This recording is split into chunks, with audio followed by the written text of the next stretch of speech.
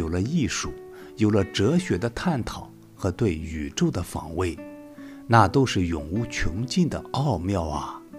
只要人类存在的一天，就会上天入地，披肝沥胆地寻找与提炼。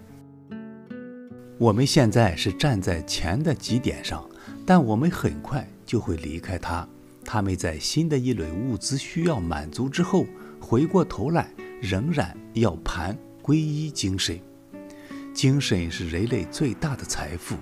在远古没有金钱之前，人类就开始了精神的求索。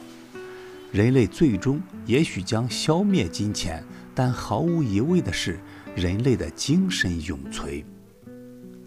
好了，今天的分享就到这里，感谢您的收听。